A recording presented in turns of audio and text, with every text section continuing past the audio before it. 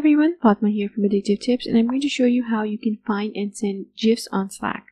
To do this, you need a Slack app and there's plenty of Slack apps so that you send GIFs, but I recommend that you use Giphy. Visit its app page in the Slack app directory and go ahead and install it for your workspace. Once you've installed the app, switch over to Slack and select the conversation or the thread that you want to send the GIF in. In the text input field, enter a forward slash and then enter Giphy. Follow this up by the text that you want to use to search for a GIF.